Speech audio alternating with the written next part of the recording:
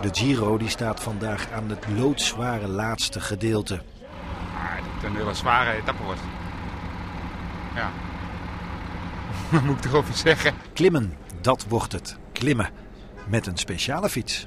Uh, sommige renners rijden compact krankstel. Dus we hebben 36, 52 vooraan. Zodanig dat ze een uh, kleinere versnelling kunnen gebruiken. En dat ze een mooiere cassette.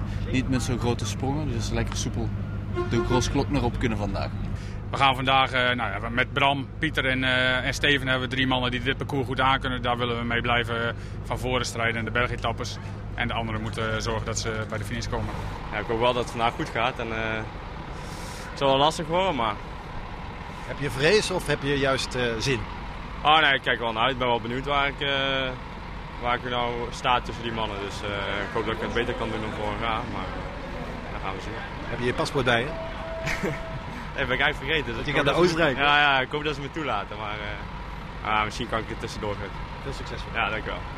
De 167 kilometers waren lange kilometers en het weer in Oostenrijk, dat hielp ook niet echt mee. Koud was het op de Grossglockner. Snel in de bus dus en naar het hotel. En na een warme douche en een massage was het tijd voor het verhaal van de dag. Ja, bovenop was het koud. Voor de rest uh, was het in de rit viel het wel mee. Alleen uh, ja, op Grossglockner was het uh, in één keer slecht weer. Maar ja, op zich maakte dat niet zoveel uit. Het is finishberg op, dus alleen met terugrijden naar de bus had je het stervenskoud. Even terug naar vandaag. Je, je zei vanochtend, nou ja, ik ga het gewoon proberen. Misschien blijven we wel voorop. En je zat daar weer vooraan. Ja, ik reed vandaag goed. En uh, ja, we zaten in, uh, eigenlijk in de goede ontsnapping. ja, jammer dat Euskaltel niet een mannetje mee heeft. Anders blijven we gewoon weg. En ja, die, die, spelen alles op alles om, om het gat dicht te rijden. Ja. Dan kom je dus niet echt weg.